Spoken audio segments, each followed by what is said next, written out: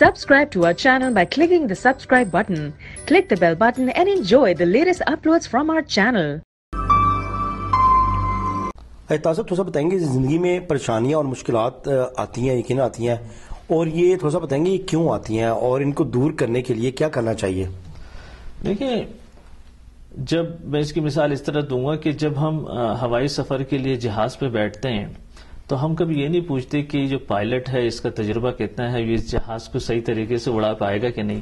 ہم بڑے اطمینان سے جا کے اپنے سیٹ پہ بیٹھتے ہیں سیٹ بیلٹ باندھتے ہیں اور اگر سفر کے دوران تھوڑی بہت جھٹکے بھی لگتے ہیں تو ہم یہ سمجھ کے اس کو اگنور کر دیتے ہیں کہ ایئر ٹریبولنس تو ہوائی سفر میں ہوتے ہیں۔ جی بالکل۔ دیکھیں اسی طرح ہمیں یہ سوچنا چاہیے کہ ہمارے زندگی کی گاڑی اللہ رب العزت چلا رہا ہے۔ بے شک۔ ہمیں پورا یقین ہونا چاہیے کہ وہ ہماری اس گاڑی کو بہترین طریقے سے منزل مقصود پر پہنچائے گا۔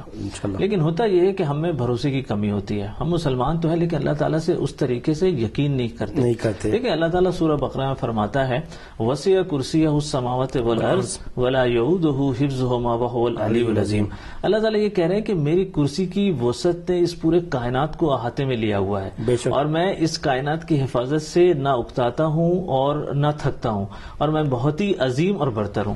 دیکھیں اللہ تعالیٰ یہ یقین دہانی کروا رہا ہے۔ اللہ تعالیٰ ہماری توجہ دلاتا ہے اس کائنات کے اوپر کہ ہم دیکھیں اور اللہ پہ بھروسہ کریں کہ تو اللہ تعالیٰ اسی طرح قرآن میں اور دوسری جگہ بھی کہتا ہے اللہ تعالیٰ جیسے سورہ شعراء میں اللہ تعالیٰ فرماتا ہے توکل اللہ عزیز الرحیم یعنی کہ مسلمانوں توکل کرو اس زبردست رحم کرنے والے پہ۔ شک۔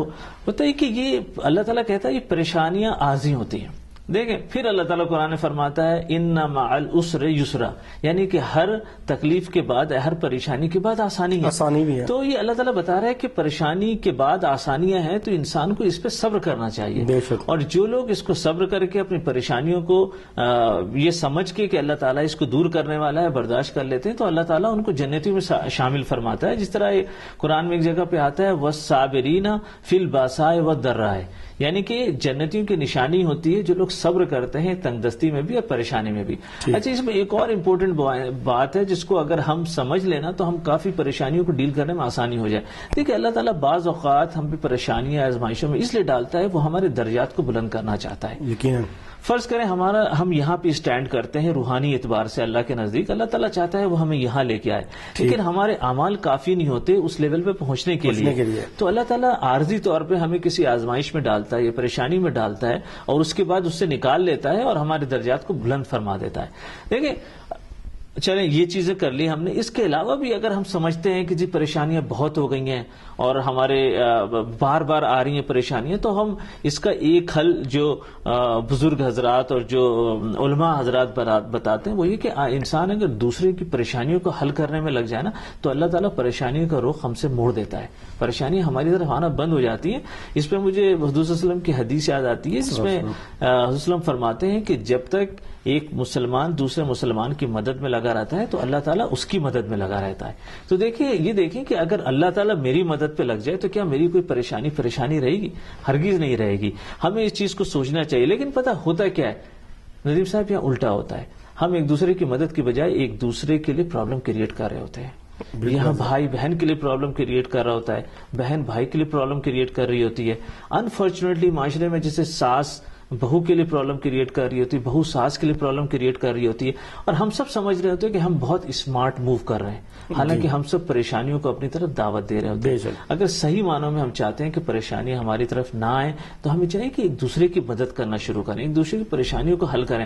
مثال کے طور پر آج کل ایک پریشانی کا ایک بہت بڑا ذریعہ ہے کہ لڑکیوں کے رشتے نہیں ملتے آسان سے۔ اگر ہم دیکھ رہے ہیں خاندان میں کسی لڑکی کے رشتے میں پرابلم ہو رہی ہے تو ہم بڑے اخلاص کے ساتھ اگر مدد کریں ان والدین کی لڑکے کی رشتہ دیکھنے میں ڈھونڈنے میں ان کی شادی کے انتظامات میں تو اللہ تعالیٰ ہماری بچوں کے لیے بہت اچھے رشتے عطا فرما سکتا ہے۔ اسی طرح اگر خاندان میں یا خاندان سے باہر کسی نے ایب جوئی کر دی ہے یا کسی نے الزام تراشی کر دی یا ہماری غیبت کر دی تو ہمیں یہ نہیں چاہیے کہ ہم فوراً جو ہے وہ بدلہ لینے کی ٹھان لیں۔ بلکہ اگر ہم یہ کریں کہ ہم انہیں معاف کر دیں تو پتہ اس سے کیا ہوگا؟ اس سے نہ صرف اللہ تعالیٰ ہمارے ایب کو ہمیشہ ہمیشہ کے لیے ڈھانکے رکھے گا بلکہ اللہ تعالیٰ ہماری شخصیات کے ہماری شخصیت کے اندر ایسی خوبیاں پیدا کر دے گا کہ ہم ہمیں ہم سوچ بھی نہیں سکتے۔ اسی طرح ہم نے اگر کسی کی مالی، کسی کو قرض دیا ہوا ہے اور اگر وہ دیکھتے ہیں کہ اس کے حالات ٹھیک نہیں ہیں تو ہم بجائے اس کے کہ اس سے اس کا تقاضا کریں ہم اس سے یہ کہہ دیں کہ یار جب تمہارے پاس پیسے آ جائیں تو تم دے دینا۔ اس سے اللہ تعالیٰ ہمارے مالی وسائل میں بہت وسعت پیدا کر سکتا ہے ہماری مالی پریشانیوں کو دور کر سکتا ہے۔ اصل میں ہوتا یہ کہ جب پریشانی ہمارے پاس آتی ہے تو ہم تھوڑا کنفیوز ہو جاتے ہیں۔ ہم شارٹ ٹرم سولوشنز کی طرف جاتے ہیں۔ ہم میڈیٹیشن اور یوگا اور ویکیشن اور سوشلائزیشن یو نو ان چیزوں کی طرف جاتے ہیں۔ دیکھیں یہ پین کلرز ہیں۔ یہ ٹیمپرری ریلیف تو ہمیں پہنچا دیتی ہیں۔ لیکن پریشانیوں مشکلوں کا صحیح حل اور صحیح معنوں میں سکون دوسرے لوگوں کی مدد کر کے حاصل ہوتا ہے